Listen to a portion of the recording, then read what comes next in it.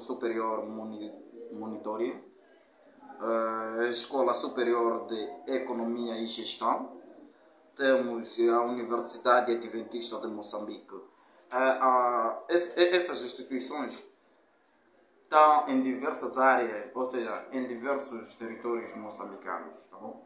Nós não precisamos já de poder ir ao estrangeiro, poder adquirir essas formações cá em Moçambique, podemos adquirir essas formações. E é muito simples. Instituto Superior Monitor temos em Maputo e temos também em Mucuba, não é? Temos em Maputo e temos em Mucuba. Mucuba estamos cá na cidade mesmo de, ou seja, na província da Zambésia, tá bom? É um distrito que está localizado na província da Zambésia, depois de da cidade de Climane. É, temos também a Escola Superior de Economia e Gestão. A Escola Superior de Economia e Gestão é uma das escolas na qual está a lecionar e que na qual forma grandes eh, gestores, grandes economistas, grandes eh, temos lá também eh, é, grandes gestores, grandes economistas e praticamente grandes profissionais. Grandes profissionais. E a Universidade Adventista de Moçambique é uma das universidades que na qual foi implementada já tem, parece, 10 anos. É, 10 anos, que na qual já está no mercado e está com grande, grande trabalho já a formar gestores, eh, grandes profissionais e nesses, desses todos, todo, ou seja, todas as instituições que na qual está, que já mencionei, oferece serviços que na qual nenhuma das instituições que na qual uh, vais encontrar uh, que possa dar esses serviços, tá bom? Tem serviços como uh, formadores qualificados na área, tá bom? Formadores qualificados na área, oferece livros, oferece recursos para poderes ter uma formação boa e. É, uma formação boa. Quem não quer ter uma formação boa, não é? E tenho uma boa nova, mas essa boa nova não fique de fora, não fique uh, já. Uh, não perca, não perca essa boa nova, porque daqui a pouco, daqui a pouco eu vou, eu vou dar essa boa nova. Você quer se formar, ok? Mas não sabe quais são as disciplinas.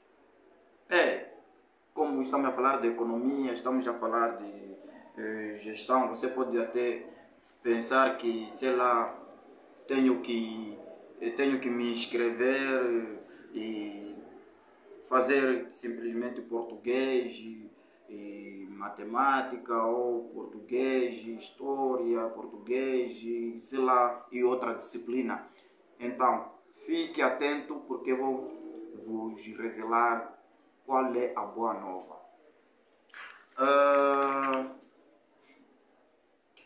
há uma pergunta que eu recebi, recebi por uma mensagem, por via de uma mensagem, dizendo, uh, Antônio, como ingressar na Universidade Adventista de Moçambique. Não é? Como ingressar na Universidade Adventista de Moçambique. Ok, é muito simples, tá bom? O curso normalmente uh, tem obedecido de alguma maneira algumas regras, algumas normas, que são 50 vagas para primeiro ano, ou seja, você está a começar mesmo, né? quer começar o primeiro ano, então você tem uma chance de poder entrar, porque lançam lá 50 vagas para os de primeiro ano, tá bom? Então basta apenas apresentar os documentos exigidos, não é?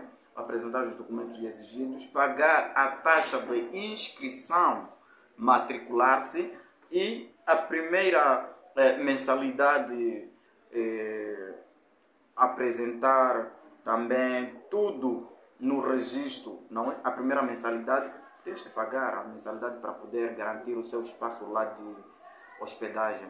Porque você quando quando paga a primeira mensalidade, praticamente não tem como, você continua. Não, já tens lá uma garantia que já tem um espaço. E apresentar tudo no registro acadêmico. Ou seja, depois de se inscrever, você tem que apresentar lá no registro acadêmico para que você possa ser realmente é, um novo integrante, um novo é, estudante daquela instituição. E desde já, a boa nova que eu tinha é essa. Muita gente faz muitas confusões. Acha que, sei lá, os cursos são similares e que as, as, as disciplinas que na qual nos leva para o exame de admissão são praticamente mesmas disciplinas. Olha, para você ser um gestor, ser um economista, ser um contabilista, você tem que ser um bom, não é? Tem que entender, tem que apanhar bem uh, as, as disciplinas como tais. Matemática, é, eu sei, matemática muitos, muitos estudantes não gostam não, é? não gostam, porque a matemática é vasta, mas é bom aprender e conhecer a matemática e a história. É, mas Antônio, que relação tem? Pois é, esta é a boa nova, a relação que tem entre matemática e história, porque normalmente matemática tem a relação com química, física, biologia, mas com história, Antônio, explica lá isso bem. Ok, eu vou te explicar. Por que, que você tem que entender a história? Porque um contabilista sempre está exposto com a população, está exposto com pessoas, não tem que lidar com as pessoas. Um contabilista tem que lidar com as finanças das pessoas. E se não saber quantas pessoas ele vai ter que gerir para poder, é, ou seja, quantas pessoas são para ele poder gerir, então vai ser difícil. História, por quê? Porque uma sociedade precisa de um bom gestor, de um bom contabilista. Já imaginaram se um país não tivesse um líder? E esse líder precisa entender como pode gerir esse povo. Por isso que é importante estudar a história, não é para saber a situação, as necessidades deste povo e como pode gerir certo certa economia que na qual tem como reserva, não é? Certo valor que tem como reserva. Então, é basicamente por aí.